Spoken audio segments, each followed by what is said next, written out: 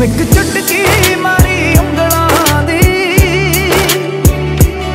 ਮੈਂ ਤੈਨੂੰ ਚੱਲ ਮਾਰੂੰਗਾ ਪੱਖੀਆਂ ਮੈਂ ਚੱਲ